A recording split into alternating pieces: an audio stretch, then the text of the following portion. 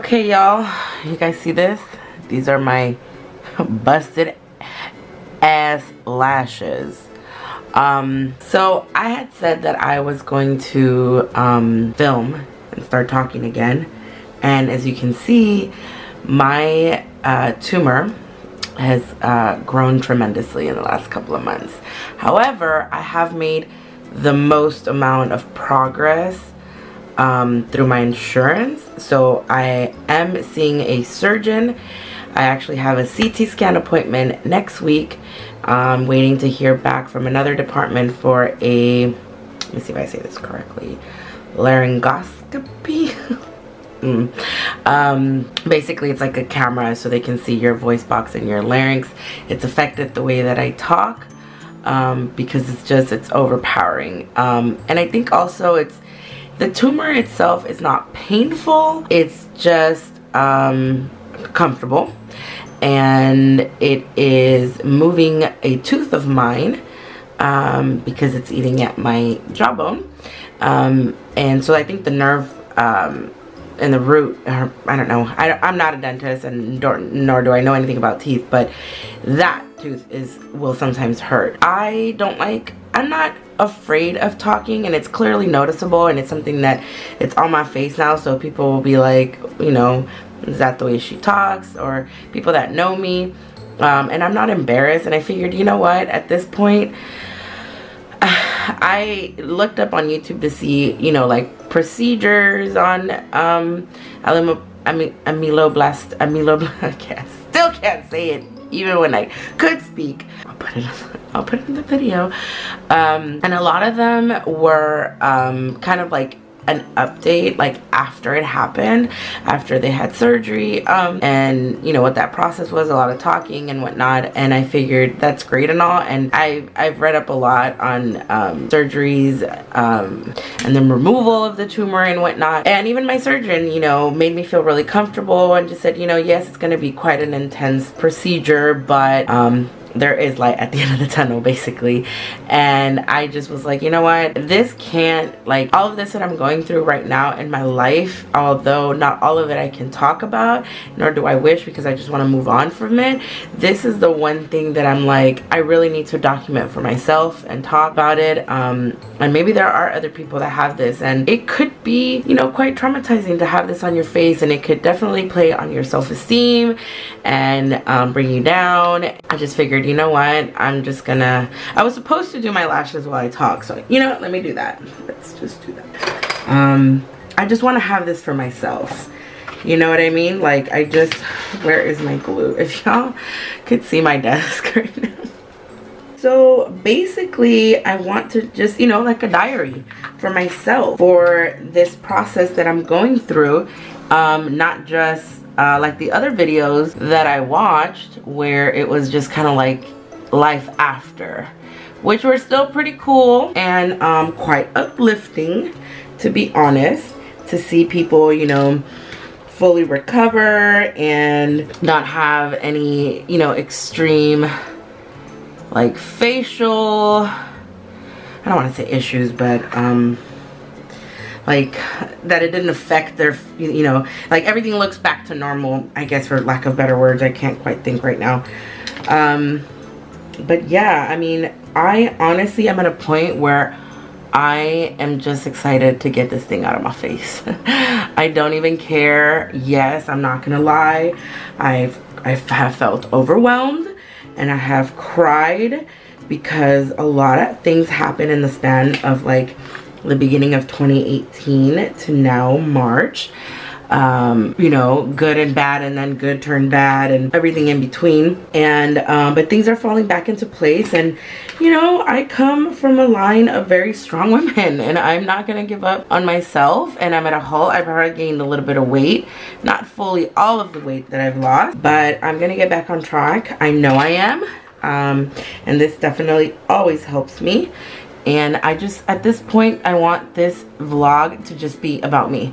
I don't want it to you know it has been about me but it has focused a lot on my weight loss. And I don't I just I just want to just want to turn on the camera and talk. Like I'm basically at that point right now. For a moment I did feel uncomfortable talking and it wasn't because of too much the visual part. It was more it's just it gets tiring. Like I get tired of talking now which really sucks chatterbox. But um, I've grown a little lisp if you can tell. I mean I'm sure it's noticeable. But um y'all I need y'all to pray for me. Um so basically let's talk about the first consultation when I finally got my insurance to approve to go see um the surgeon, the specialist. I am in the department of oto, oto I cannot say it, otolaryngology. I have a hard time saying it even before my tumor grew. Um, I swear like in the last two three months it's grown tremendously and um, but also because of the weight that I did lose it became more noticeable much more quicker quickly whatever. Uh so i finally you know after like six months i mean y'all know i have the videos of when i first was like i'm gonna go see a doctor. And by that i meant like i had to go see my primary care physician had to go see a maxillofacial surgeon and all of that good stuff. And i have a couple of videos talking about that. But basically i had to go through all of that process for my insurance to say oh okay they can't do anything for you so you do need to go see a surgeon a specialty surgeon, specialist at uh, you know, at a, at a hospital, um, and I, I am at University of Southern California, USC, if you're not aware of what that means. Um, I have finally gotten approved. So he has sent me to, mm, I did the wrong one, it's okay. He has sent me to do several exams. In my first consultation, I went and he said, you know, you need a CT scan, an MRA, um, and a couple other things, which is what I'm working on next week. And then we're going to do a follow-up appointment. And then in that appointment, from my understanding, I walked away, you know, with him explaining, like, basically at that point, you know, I'm probably going to give you a surgery date and, like, you know, more details about that surgery. And I figured you know what? If I want to do something for myself that makes me happy and editing makes me happy uh, recording makes me happy it's what I really like doing um, and this again it's like I'm going through this with a purpose and I can't I've got to talk about this and you know the fact that I didn't really see that many videos of people you know I saw life after I'm like, no, you know, I want life in between. Like, this is what it looks like. This is what I look like with this. So if you have it, God, I suggest you take care of it as soon as possible, like immediately. It wasn't as visible for a very long time, so it was in the back of my head, and because it wasn't cancerous, you see what I mean by talking? Because it wasn't cancerous, I just didn't, you know, it wasn't unfortunately it wasn't a priority. And I feel awful for saying that and I don't want to kick myself because you know there, I, I can't go back in time. I can only move forward. But you know the purpose of this is to share my experience and with that comes a little advice.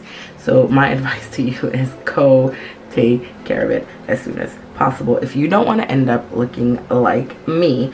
And my tumor is huge because I've got cheeks so if you don't have cheeks and it looks like this, uh, it's gonna be bad. So yeah, that is, uh, you know, an update. I have got to get the medical lingo a little bit better, but and the best way that I can explain it and I dumb it down for myself is they've got to open up my calf to take an artery to reconnect something here. I'm going to get more details and more paperwork when I see him. So I'll definitely go into more details for those that want to know more medical terminology that day was a lot of information and I'm not gonna lie it was quite overwhelming and you know like a couple days later like I just felt like it just hit me like a ton of bricks and I just cried for days because you know he told me you know it, you know it's gonna be an eight hour surgery like that is scary to me um, and I didn't I it, you know the situation you know I thought it was going to be a little bit easier than that. I was not expecting that kind of news. I am going to have to be in the hospital for about a week and a feeding tube. I have to wear a cast for about 10 days on my leg. Like, and then, you know, after that, I have to be on a liquid diet for like, Lord knows how long.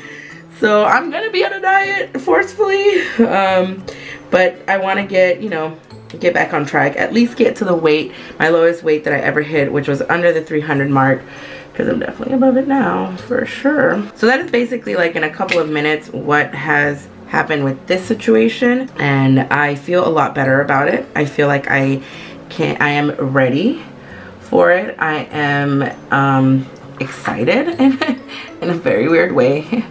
Um, no, but I'm sure you all understand me. Like, I'm excited to just get it out. Like, it's, it, I'm just excited. I just want to recover and feel like myself again and um, but I don't want it to like anything in my life I don't want it to interfere with the things that I love doing um, and for a moment you know because it was overwhelming and piled up on top of all of the family drama and all of the you know personal drama with somebody else I just wasn't picking up the camera because I just couldn't fake the funk and I didn't want to talk about it. And quite frankly, um, there's going to be legalities with one of my situations. Um, and I'm kind of over and like moved on past that and I'll just let that take its course and get handled. So I'm not even going to deal with that bullshit. I want to mostly focus on myself and part of my biggest situation for myself is this situation. And I want to be good for my son Mr. CJ who um, I'm pretty sure he's gonna be excited once I tell him hey I started vlogging again. Um, I haven't even finished my eyelashes. Why do I do this to myself? I need a little bit more glue because I've been talking so much that the glue that I had dried so another big reason why I also kind of was just like it was easier to not pick up the camera if I'm really honest with y'all is the fact that my laptop is still broken and um, I'm debating whether like I want to spend the money on getting a new one. I was gonna start a Patreon but I'm like if I do a Patreon that means I really have to commit and I never want to feel like this is starting to be more of less of a hobby and more of a job and if it were to ever become my job like you know everybody else then when you do it full time then you have the time.